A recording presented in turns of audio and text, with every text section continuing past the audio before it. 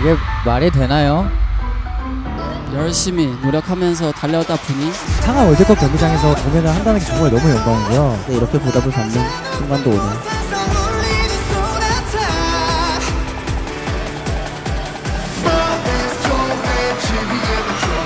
여름형한테 지금 무대 보여주는 거 되게 좋은 것 같아서 가슴이 엄청 떨려오네요.